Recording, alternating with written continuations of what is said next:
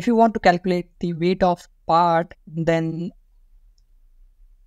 go to file prepare model properties and first set units so i'm clicking change uh, I need a millimeter kilogram and second. I need weight in kilograms. So I'll just set these units.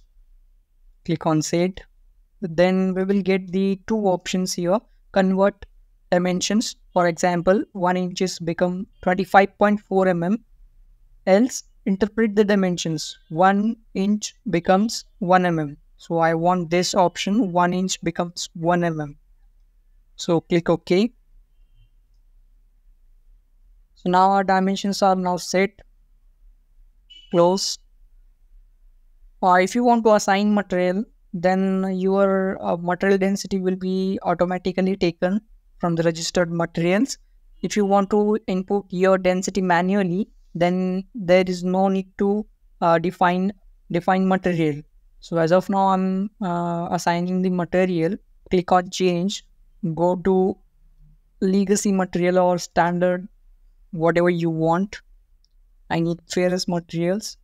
Various materials are available. I'll select steel cast. Just double click on it. That's it. And click OK. So now go to analysis, mass properties.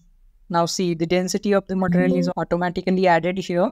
Just click preview and here you can find the volume of the material surface area density of the material which is already filled here it is in kg per mm cube and then mass of that part 6.19 e raised to minus 1 it means uh, our weight is almost around 600 grams. And if the material is not assigned then i'll also show you that same. I'll change the material from here.